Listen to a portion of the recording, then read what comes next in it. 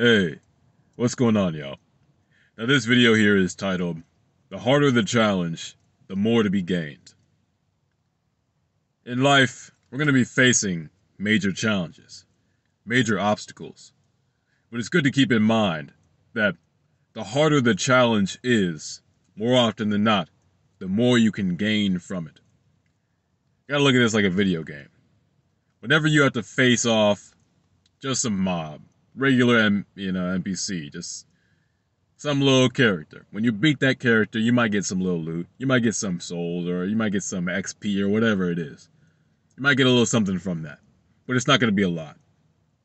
But when you face the boss, when you fight the big enemy, when you face the hard challenges in that game, you beat the the big hard quests. Hey. Whenever you overcome these difficult quests, difficult enemies. That's when you get the real XP. That's when you get the best loot, the most useful items, whatever that might be. That's what you gain from being the most difficult enemies. The same concept applies to life. Usually, the little things, conquering those little tasks, let's say that's doing the dishes. Let's say that's, uh, you know, going to work every day the little things, going to school every day, whatever that is for you. Getting all that done, just task, task, doing your homework, whatever that might be. That gives you that little bit of XP. You do get something from that, but tends to be to a lesser degree.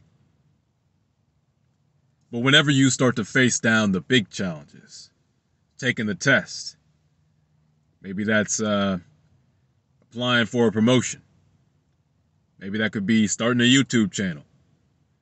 Whatever that big challenge is in your life. Working out more days a week. That's when you start to reap the big rewards. And sometimes they're instantaneous, sometimes they're immediate. They just pop up. You ask for that promotion. It could be a challenge for you. You ask for that promotion. You get that motherfucking uh, promotion. It's instantaneous. You ask for that girl's number. You get her number. Instantaneous reward. But sometimes the work itself is the reward. Putting it, beating the challenge in and of itself is the reward. You know, starting a YouTube channel, that may not be immediate for you. But just the act of deciding to put yourself out there, record yourself and you know, have it'll build your confidence. It'll build your self-esteem. It'll build your self-worth knowing that you have put yourself out there and that you have taken on this challenge. You know, it's even just, you know, taking a test. I mean, I that, that tends to have the immediate reward, but even just, you know, you you study for it, you've done all the work, and going in there and putting all that forward, beating that test, getting a good grade, you know, that in and of itself has, you know, um, inherent rewards. Reward rewards that come with the work of having, you know, put forth the discipline to study, put forth the discipline to learn about these things to overcome that test. So keep in mind when you're facing things down in life. Don't fear the hard quests. Don't fear the difficult challenges that you have to face in life.